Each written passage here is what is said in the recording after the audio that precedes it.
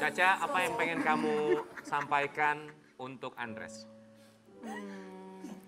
Kamu semangat terus kerjanya. Jangan dengerin kata orang, bahagia selalu. Oh, manis banget. Eh, aku mau dong sama Karen kayak Caca. Ayo, Eh, eh, Coba. Oke. Back sound. Lagu eh, lagunya tolong mobil butut ya. Coba dong MC. Kamu, Eh, MC lu pikir gue MC kawinan, MC MC mulu sini. kamu, Apa yang Matanya sambil kayak tadi. kayak apa yang matanya. kamu suka dari King Nasar? Aduh, tapi capek. kamu, kamu terlalu besar. Kamu terlalu bohong. Astagfirullah. Kamu suka bohong. Apa yang mau kamu sampaikan untuk King Nasar? Kamu, kamu rasa. Eh, kamu ngeselin. Kamu yang bikin kesel. Oh, Ah, bisa bisa jangan ya. Gimana sih. Semau mau lo. Hei, Perdamaian, perdamaian, perdamaian. gue udah bilang. Gue udah bilang sama orang sound. King, gue udah bilang sama orang sound. Segmen 2 matiin mic-nya Dewi. Eh, masih dijalain. Enggak, Di sini ya. Dewi itu tadi kepalanya nut-nut.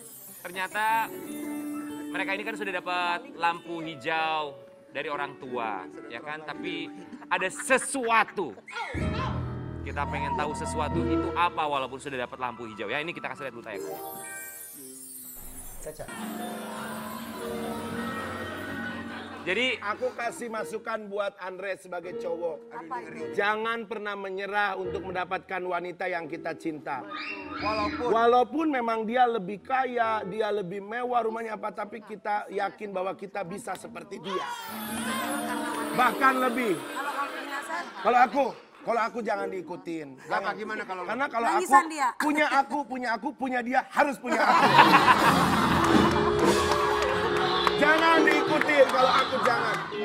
Jangan, please. ayo sayang gimana itu? jadi gimana? coba? Eh, Andre, Aduh, bener banget. Andres apa betul? Caca itu adalah tipe istri idaman. Oh, kalau untuk bilang istri aku belum berani karena masih jauh banget, Caca umurnya juga masih belasan. Tapi eh, dia punya apa ya? Punya punya sifat-sifat yang memang untuk menjadi pasangan dia pasangan yang baik. Komentar kamu, Amanda? Apa komentar aku? Ya, apa ya? Hmm.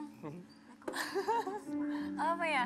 Eh, aku juga selamanya kan sama Andres, kita deket, terus juga saling cerita-cerita, nyaman. Dan selama ini sih kita ya, ya udah gitu.